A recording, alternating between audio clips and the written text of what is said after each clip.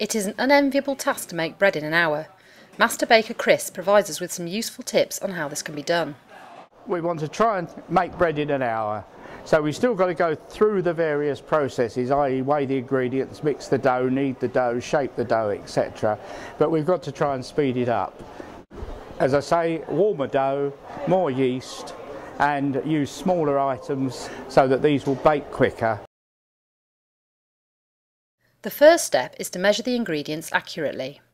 The basic ingredients for making any loaf is flour, water, salt and yeast. Yeast comes in several forms. Traditional sort of block yeast that most bakers use. The old dry yeast that used to get, that used to say put in water with a bit of flour, mix it up, let it start frothing, um, was the sort of traditional dry yeast, they now make an active dry yeast, which is quite all right just to blend in with your flour. And, and when you add the water, it hydrates and starts doing its work.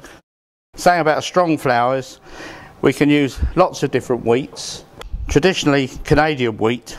Now we use an awful lot of homegrown wheat because our grades of wheat have improved. But what you're aiming for is a wheat which, when milled, produces a high level of gluten. When the proteins in flour are hydrated, gluten is formed. We can see the pure rubbery gluten when the starch is washed out of the flour. Gluten holds the gas produced by the yeast, causing it to inflate and increase in volume. The dry ingredients are first mixed together. So you add your yeast, now I've doubled up on the quantity of yeast, add your salt, so in there we've got 500 grams of flour, two teaspoonfuls of yeast and one teaspoonful of salt. Blend it in and if you want to you can do it in the bowl. If you're very brave you can do it on the table. Make it well in the middle and add the water, about 300 mil. Now as I say temperature of dough is important. If you want to make a dough at 30 degrees centigrade, the finished temperature, you double that temperature Take away the temperature of your flour and that tells you the temperature of the water you need to add. Did you get that? if you're not, just keep the water on the warm side so that everything livens up. If you have a good strong bread flour, normally, depending on other ingredients you're adding, because obviously if you start adding eggs and high levels of oil and everything, you won't need quite so much water. But if you're just making a straight basic loaf, a good bread flour should normally absorb about 60% of its own weight and a whole wholemeal slightly more. Draw this all together and you eventually get to what's known as the, the rag or the flock stage. And then any dough with yeast will need to be kneaded. The role of kneading is to hydrate the protein in the flour which forms gluten. Kneading stretches the dough, developing the gluten. The gas produced by the yeast is held by the gluten, allowing the dough to rise. If you don't knead it sufficiently and the dough is still raggy, you won't get such a good volume product. Now, if you had it in a bowl, you might just go over like that. If you want to add any oil, then's the time to add it in. So what I'm doing is pushing it away with the heel of my hand, which stretches the dough, bring it up and then turning it round.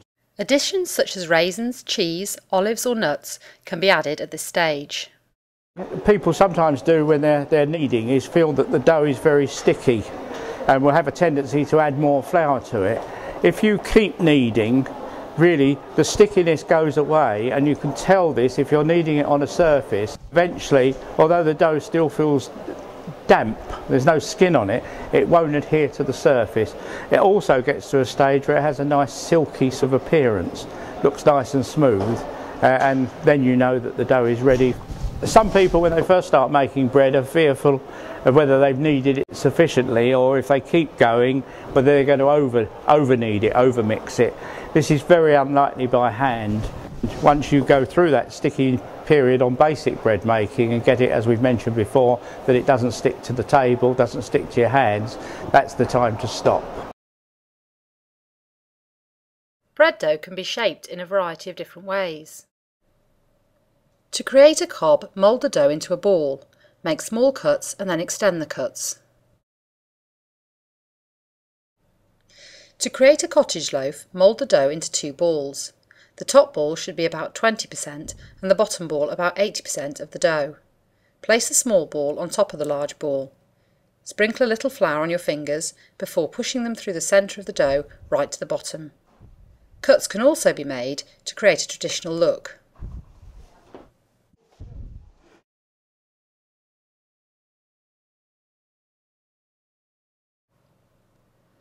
To create a bloomer shape, flatten the piece of dough out and fold it into three lengthways. Stretch the dough.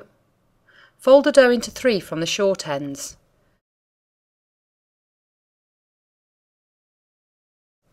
Finally, mould the dough over to create a bloomer shape and cut along the top.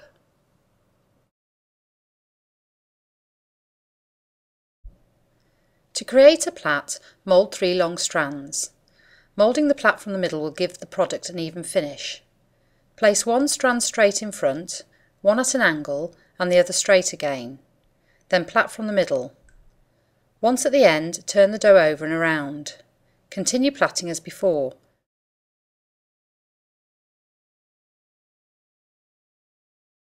finally rolling the ends to secure the plait. Small units, about 35 grams, can be cut and weighed. These will cook in about 10 minutes. Round or finger rolls can be created by moulding smaller pieces of dough. A variety of different shapes can also be created.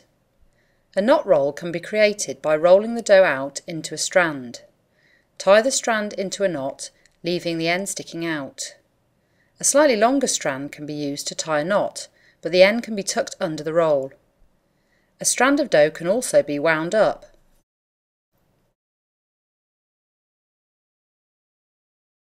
Both ends of the strand can be wound in together, or the strand can be wound halfway and then wound in the opposite direction. Flat units will also cook more quickly. To create a fougasse, use a sharp knife to cut diagonal lines through the rolled out dough and stretch the dough out to open the cuts.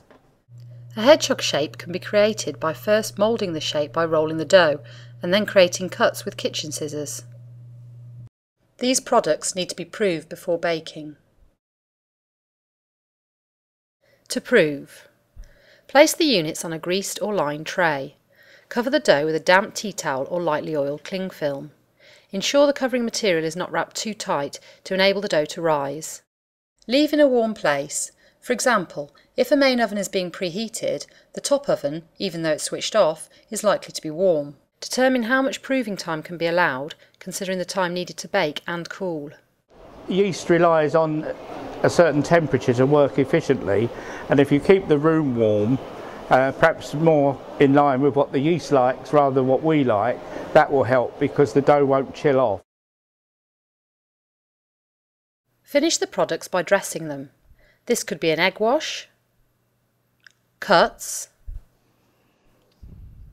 flour, or seeds. People eat with their eyes too. Consider taste and texture, but also occasion and appearance. Small or flat units will require about 10 minutes to cook in a hot oven, around 220 degrees Celsius. The products should be placed in an oven using oven gloves. To check whether the products are cooked, tap the bottom of the bread. It should sound hollow. Once you've mastered the skills of making a basic dough, there are so many things you can do with it. The, the, simplest, of course, is pin some of that dough out to a round disc and make a pizza. You could add flavours to the bread and, and still, if you added some tomato puree, a few chopped onions, etc., to a basic dough, you could still use it as a flavoured pizza base. Or take a basic dough, chop it up, add some tomato puree, egg, oil, put it in little piles, and make a flavoured, you know, roll for a dinner party or something like that. Once you've got the basic dough and you start adding more sugar, eggs, oil, fat, you slowly increase the enrichment and you move on to making to the level that it makes tea cakes or currant buns. And if you get to the stage where you add a lot of egg, butter, sugar, you make brioche and things like this. So the skills needed to make it are the same, it's just the additional ingredients change the nature of the product and drastically affect the flavour and the eating enjoyment.